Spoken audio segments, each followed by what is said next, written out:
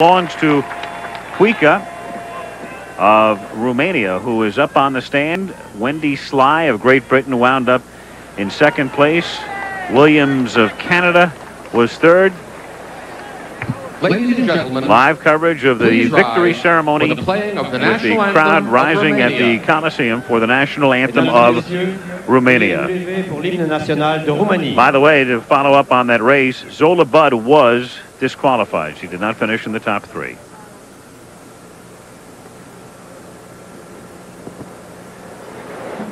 And to clarify, Budd did not finish in the top three anyway, having faded at the end, but was disqualified because of the incident with Decker.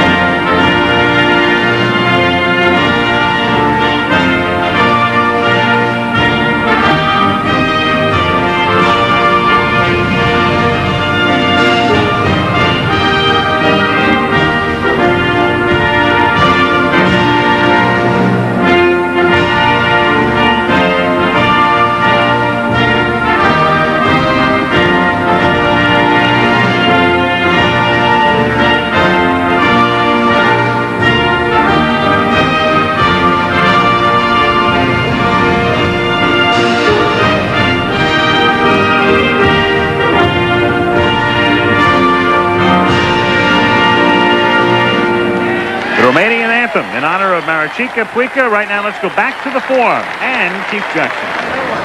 And Spain has a dose of miseries right now with this U.S. basketball